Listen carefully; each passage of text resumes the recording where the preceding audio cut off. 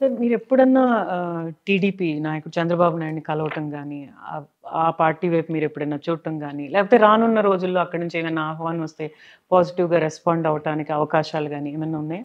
నేను ఒక్కసారి కలిశాను ఆయన. తిత్లీ తుఫాన్ అప్పుడు.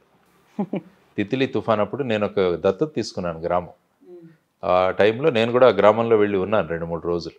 ఆ గ్రామంలో వాళ్ళకి కావాల్సిన సరఫరాలు ఇవన్నీ చేసి నేను అక్కడే ఉండి రోడ్లు కూడా చాలా చెట్లు పడిపోయి ఇవన్నీ కూడా మూసుకుపోతే అక్కడికి వెళ్ళి మేమంతా రోడ్స్ క్లియర్ చేసాం. ఆ టైంలో ఆయన అక్కడ పలాసలో క్యాంప్ చేసేవారు. సో అప్పుడు నేను విలేజెస్ తిరుగుతున్నప్పుడు వాళ్ళు కొన్ని డిమాండ్స్ చెప్పారు నాకు. సో ఇవన్నీ తీసుకొని ఒక మెమరాండం లాగా తీసుకొని ఆయన వెళ్ళి కలిశాను. కలిసి ఆ మెమరాండం సబ్మిట్ చేశాను.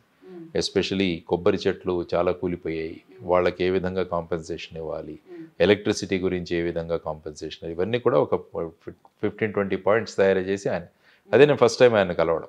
సో ఓన్లీ తిత్లీ తుఫాన్ సందర్భంగా అక్కడ నేను కలిశాను. లాస్ట్ టైం తెలుగుదేశం పార్టీ వాళ్ళు నన్ను ఆ, అన్ని పార్టీలు అప్రోచ్ అయ్యాను నన్ను. టూ థౌజండ్ నైన్టీన్ అప్పుడు మెజారిటీ ఆఫ్ ది పార్టీస్ నన్ను కన్సల్ట్ చేశారు. మా పార్టీలోకి రండి అని చెప్పేసి. అక్కడ కూడా ఒకరిద్దరు వచ్చి మీరు విశాఖపట్నం నుంచి కంటెస్ట్ చేయొచ్చు కదా ఎక్కడైనా అన్నది కూడా అన్నారు. సో అది. కాబట్టి నేను అదే అన్నాను. విశాఖపట్నం నుంచి కంటెస్ట్ చేస్తాను. ఏవైతే నా భావజాలం ఉంటుందో నా ఆలోచనలు ఉంటాయో ఈ ఆలోచనలతో ఎవరైనా పార్టీ మేము విధంగా చేస్తాము అన్నది అనుకుంటే నేను I can I will discuss definitely. అన్ని పార్టీలు మీకు అప్రోచ్ అయ్యాయి అన్నారు కాబట్టి వైఎస్ఆర్సీపీ. జగన్. ఎస్ వైసీపీ కూడా వచ్చారు మీరు మా పార్టీకి రండి అని చెప్పి.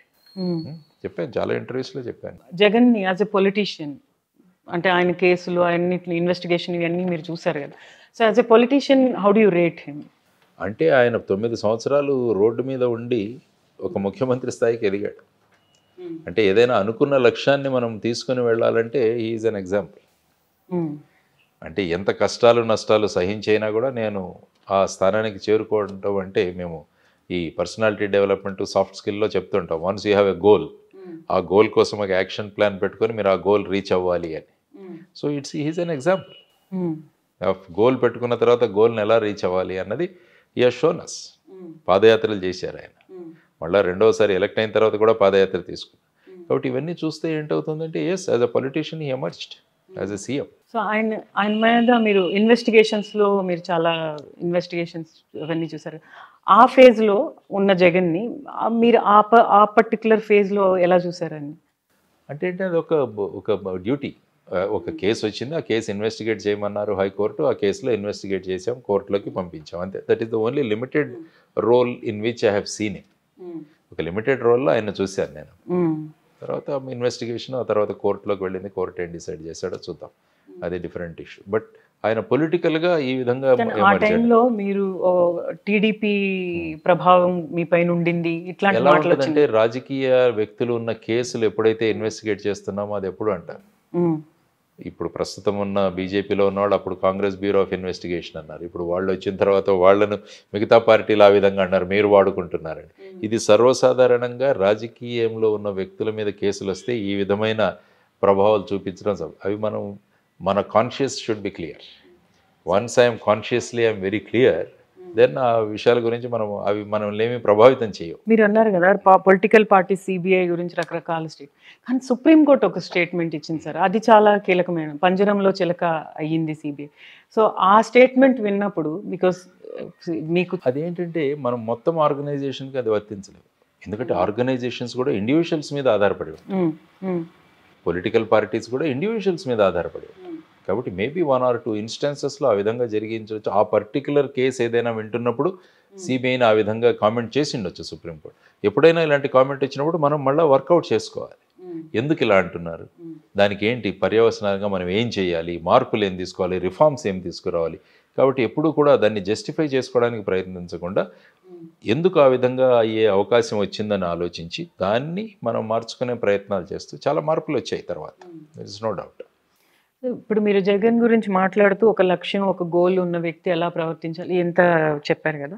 ఆ కేసులు డీల్ చేసిన నేపథ్యంలో ఒక పెద్ద గ్యాప్ ఉన్నట్లయితే కనిపించింది బయట. అది మీరు మీరేమంటున్నారంటే ఇట్స్ డ్యూటీ ఇవన్నీ చెప్తున్నారు. బట్ కామన్ మ్యాన్కి ఎట్లా అనిపించింది? ఏంటంటే ఒక ఒక చిన్న యుద్ధం జరుగుతున్నట్లుగా అట్లాంటి ఇమేజ్ చేసిన యుద్ధం మీడియా చేసిన యుద్ధం అందులో otherwise it's regular any other case it's like any other case తర్వాత మీరు ఎప్పుడైనా ఏదైనా ఒక ఫంక్షన్లో కానీ జగన్ మీరు ఎదురుపడడం కానీ ఎప్పుడైనా పలకరించుకోవటం కానీ అట్లాంటి సంఘటనలు ఏమైనా ఒక్కసారి ఎయిర్పోర్ట్లో కలిసాం మేము. ఒక్కసారి ఎయిర్పోర్ట్లో So, నేను interaction లాంజ్లో కలిసినప్పుడు ఇద్దరు నమస్కారం అంటే నమస్కారం అంతే. That is the only conversation airport లాంజ్లో కలిశాను మ్మ్. అంతే. ఆ తర్వాత నేను ఎప్పుడు కలవలేదు. ఎప్పుడు తారసపడలేదు మేమిద్దరం ఒకరికొకరు. ఎలక్షన్ టైంలో క్యాంపెయినింగ్ టైంలో టైంలో ఎక్కడ ప్రతీకారాలు. చూపినట్టుగా అలాగే లేదు. ఎందుకంటే వ్యక్తిగత దూషణలు ఎప్పుడు కూడా it is not in my dictionary మనం ఎప్పుడు పాలసీస్ చేసుకోవచ్చు. దట్ ఎవరు ప్రతి ఒక్కరు వాళ్ళ వాళ్ళ సంస్కారాన్ని బట్టి మాట్లాడతారు. కాబట్టి వాళ్ళు letters leave it to their సంస్కారానికి వదిలేయడమే. మీరు అప్పుడు ఇన్వెస్టిగేషన్ ఏదైతే ఉండిందో ఆ అంటే ఇప్పుడు చాలా విషయాల్లో చాలా మార్పులు కనిపిస్తున్నాయి కదండి. ఆ ఇన్వెస్టిగేషన్ మీరున్న ఇన్వెస్టిగేషన్ ఇరా ఇప్పుడు జరుగుతున్న ఇన్వెస్టిగేషన్స్ ఇరా దీనిలో ఏమైనా తేడా ఒక బ్యూరోక్రాట్గా మీరు చూస్తారు? ఇన్వెస్టిగేషన్స్ ఎప్పుడు కూడా యాజ్ పర్ లా జరుగుతాయి చట్టాలు అవే ఉన్నాయి. కాబట్టి ఇన్వెస్టిగేషన్స్ స్టైల్ ఫంక్షనింగ్ ఉంటుంది. ఒక్కొక్కరికి ఒక్కొక్క రకమైన స్టైల్ ఆఫ్ ఫంక్షనింగ్ ఉండొచ్చు. ఎందుకంటే అదర్వైజ్ అందరూ ఒకే స్టైల్ ఆఫ్ ఫంక్షనింగ్ ఉండకపోవచ్చు.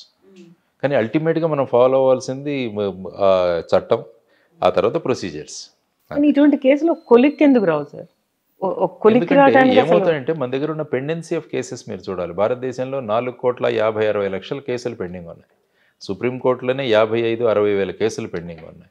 హైకోర్టులో అరవై లక్షల కేసులు పెండింగ్ ఉన్నాయి. లోవర్ కోర్టులో ఆల్మోస్ట్ ఫోర్ క్రోర్స్ కేసులు పెండింగ్ ఉన్నాయి. ఇప్పుడు ఏంటంటే ఛార్జ్ షీట్ వేయగానే అది కన్వేయర్ బెల్ట్లోకి వెళ్తుంది. ఆ కన్వేయర్లో తిరుగుతూ ఉంటుంది అనమాట ఈ పొలిటికల్ కేసులు కనీసం పొలిటిక్ ఒక- కేసు అందుకనే అశ్విని కుమార్ ఉపాధ్యాయ గారు ఏదైతే పబ్లిక్ ఇంట్రెస్ట్ లిటిగేషన్ వేశారో ఆ తర్వాత ఎంపీలు ఎమ్మెల్యేకు స్పెషల్గా కోర్ట్స్ పెట్టాలి. వాళ్ళ మీద ఉన్న కేసులు వీలైతే ఒక సంవత్సరంలో పరిష్కరించాలని చెప్పేసి సుప్రీంకోర్టు వారు చెప్పడం జరిగింది. దాన్ని బట్టి స్పెషల్ కోర్ట్స్ వచ్చాయి. అయినా కూడా ఫాలో అవ్వాల్సింది సేమ్ ప్రొసీజరే. డిశ్చార్జ్ పిటిషన్స్ ఉంటాయి. వాటి మీద నిర్ణయించాలి. వాటి నిర్ణయాలకి లోవర్ కోర్టు మీద హైకోర్టుకు వెళ్తారు. హైకోర్టు కాకుండా సుప్రీం కోర్టుకు వెళ్తారు. ఇదంతా టైం తీసుకుంటుంది మళ్ళీ. మళ్ళీ ఆ కన్వేయర్లో పడుతుంది వెళ్ళి. సో ఇవన్నీ కూడా ప్రొసీజర్ చూసినప్పుడు మన బేసిక్ మార్పు కి చాలా అన్యాయం జరుగుతున్నట్టే ప్రొసీజర్స్లో మార్పులు రావాలి. ఎందుకంటే మల్లిమత్ కమిషన్ అని రెండు వేల మూడవ సంవత్సరంలో ఒక బ్రహ్మాండమైన రిపోర్ట్ సబ్మిట్ చేశారు. ఈ రిపోర్ట్లో ఉన్న రికమెండేషన్స్ యాక్సెప్ట్ చేస్తే దీనికి ఒక చలనం వస్తుంది. కానీ అందులో రికమెండేషన్స్ యాక్సెప్ట్ అవ్వలే పెద్దగా. మనం కమిషన్లు కమిషన్స్ వేస్తాం కానీ ఆ తర్వాత సబ్మిట్ చేసిన రిపోర్ట్స్ అలాగే ఉండిపోతాయి. ఎందుకంటే ఇంప్లిమెంట్ చేయాల్సింది వీళ్ళే. కాబట్టి అవి స్పీడ్గా వెళ్ళిపోతే ఎలా? అది కూడా ఒక సమస్య.